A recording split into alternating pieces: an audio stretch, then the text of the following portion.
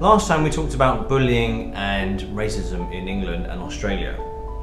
And having filmed that, uh, I sat home thinking, that's probably not the most troubling thing that I encountered as a kid. I remember when I was really little, uh, there was a stage when my English was really poor. My mother tongue should be Cantonese because that's the language I learned first, my first language. After I started speaking English at school with my siblings, that outstripped my Chinese. So my Chinese gradually went down the drain and my English got better. But there was a time when you know neither my English nor my Chinese was any good at all. So I was, constantly confused, not knowing what to say, having a hard time thinking of the word to describe what I wanted to tell the teacher. There was this one time I went to school with a piece of paper that was torn. I didn't know how to say torn. I couldn't think of the word.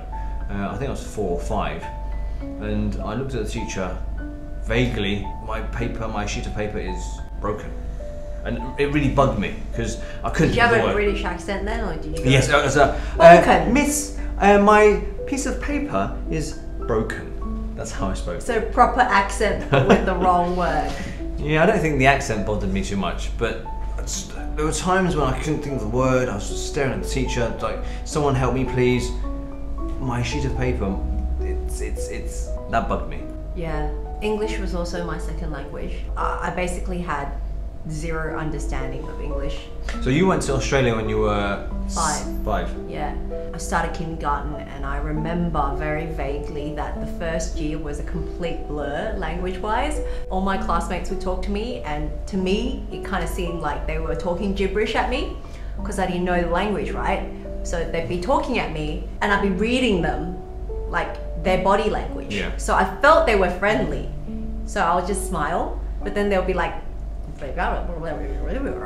like literally to me, that was what it was like when they were talking to me. And I only knew McDonald's. And I, because I like McDonald's. So- and yes and no. I knew three words and maybe like water and. Hamburger. And No, cheeseburger. no, no, no, no hamburger or cheeseburger. Just McDonald's. Why? I don't know, I really liked McDonald's when I was a kid. And you went all the time.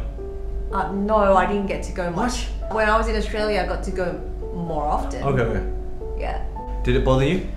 It was a bit scary because you didn't know what they were saying, but it was also good because like you can learn to read people's body language yeah. a bit more as a young, like I was like five Kid. as a kid.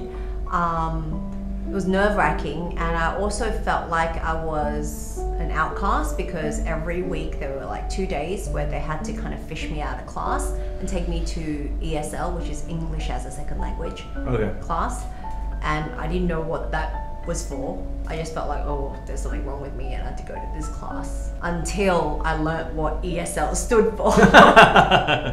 but very, very soon, like by grade one, I could communicate properly with Grade one is a year after you. yeah, one year. So kindergarten and then year one, yeah.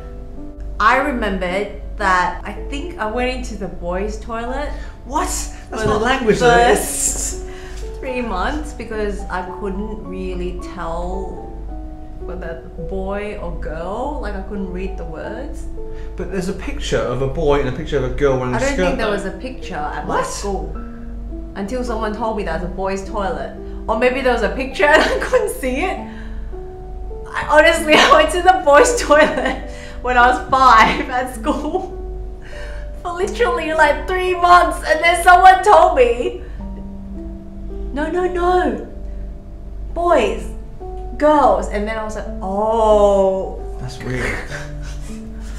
it's not. A, it's no longer a question of language then. it's Maybe just- maybe everything just made everything really No, no, I confusing suppose yeah. Uh, being in a new place at, at that a new young an age, yeah, it was just you're being overwhelmed by everything. maybe, yeah. When I reached secondary school, like 12, 13 years old, I started figuring out my level of proficiency in English and Chinese. So there were fewer awkward situations. There was this one time, I'm not sure, probably not the awkwardness from the language as opposed to falling asleep in geography. So I fell asleep, as you would, and then uh, the teacher called out my name and asked me if I was sitting on the fence because I said nothing. I didn't raise my hand. And I looked at him and thought, I'm sitting on the fence. So I, oh, yes, that was strange, a little awkward, but probably more so because of my falling asleep and being woken up. It's like, uh, it's like, yeah, yeah, yeah, yeah. Like that. I, I, have, I have no recollection of the question. So I'm sure everyone raised their hand, you know, do you agree or not? Yes, I agree. And then Jason was just sat there, uh, like just asleep like this. And he's like, yeah, yes, like this. It'd be funny if you answered him, no, no, no, I was sleeping. I wasn't sitting on the fence. Uh, I had a kind of not an embarrassing situation, but around the age of eight-ish, nine, um, I went out with my parents to a nice dinner. So my parents are quite traditional. We don't really go out for like Western food much. Yeah. We cook at home, traditional Chinese food or Chinese restaurants. And so we went for a steak that night, and it was a nice place. And the waiter kind of introduced the menu to us. You know, this is a steak. You can have it like rare, medium, well done, etc., etc., etc. And then he came back like 10 minutes later to take our order and Hmm. asked us, How would you like your steak? I kind of remember what he said, but very vaguely. And so I said to him, I'd like my steak wonderful. I kind of meant well done, like well, wonderful, it's like positive W. yeah, W associated words.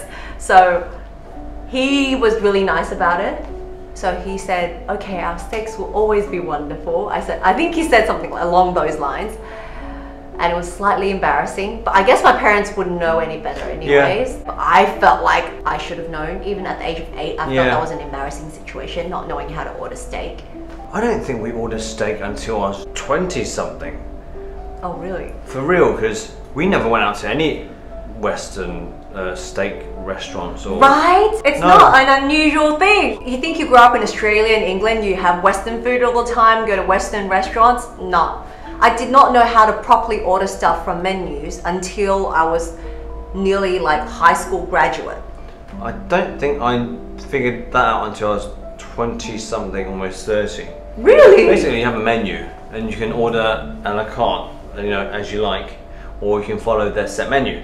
So I reckon up till after I started working, saving some money, going out with my girlfriend, uh, now my wife, and then you know you kind of uh, learn and figure out what you're doing. But when you're like 20, you've never been to a restaurant. You know, Yeah. You, see all that stuff and think. Uh, and Yeah, it is hard to order. you try to remember the steak being well done. I'm not even sure I knew the difference between well done, medium, or if there was any other alternative. Okay. So, yeah, I'm uh, pretty advanced then. Menus and ordering at restaurants, I think, are awkward even for adults. Yes. So you go to a fancy restaurant. Uh, first of all, there's a dress code, so I can't wear jeans. And then there's also, you know, there's an etiquette.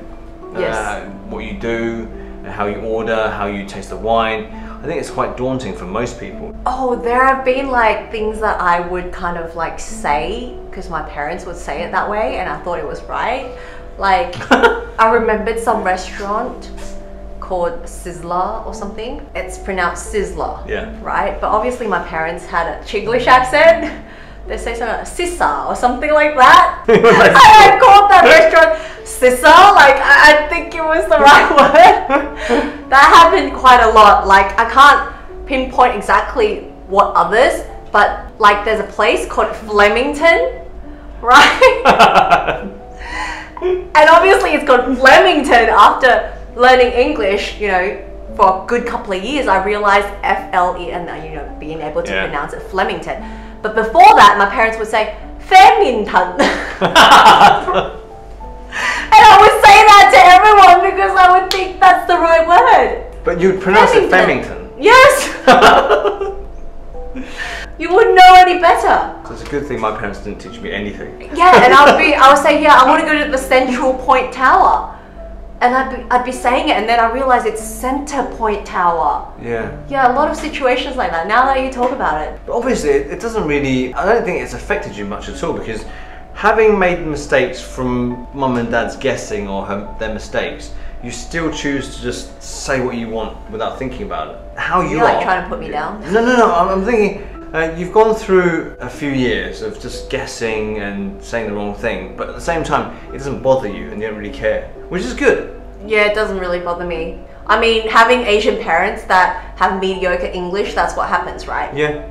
You kind of know that's your weakness, so you kind of put more effort into it. Yeah. When I got to high school, I actually got really high marks for my oral presentations because I felt the need to be able to present myself Correctly. correctly and speak with like the correct enunciation and tone. and- Grammatically, Yeah. everything. So We're always talking about interpersonal skills, and I guess without language, without proficiency in English or Chinese, it's hard to establish any kind of connection. So I think it's a huge responsibility for parents to, at a very young age, correct If, what if their can. kids are saying if you can. Because when they're confident with their language, it will help them a lot initially in the first few years of their schooling, of uh, their interpersonal skills. I was speaking to a friend and they're asking how they can uh, do story time better with their kids because their English isn't fluent. And I guess uh, it's no different for a kid. Speak more, read more. Uh, I don't suppose a kid's storybook is going to be particularly challenging. So if you pick up a uh, any kind of kid's book and just read it, read it with them. Uh, pronunciation might not be spot on, but at least there's some kind of connection when you're reading the story together. I've been reading uh, a book called Monsters and Magical Beings, and we read it every night. We've read it so much that he knows which character, which monster does what, and their characteristics. So he knows that the troll is dumb and slow-witted. He knows that someone has bad breath, and he knows that uh, one of them gets shot by an arrow. So you know, there's a lot of learning together with a kid. Maybe because we didn't have that when we were younger. Like my, our parents were like so busy with work and stuff, and Yeah, it wasn't like they didn't want to correct us, but their English wasn't strong, so they couldn't really correct us Mm. anyways.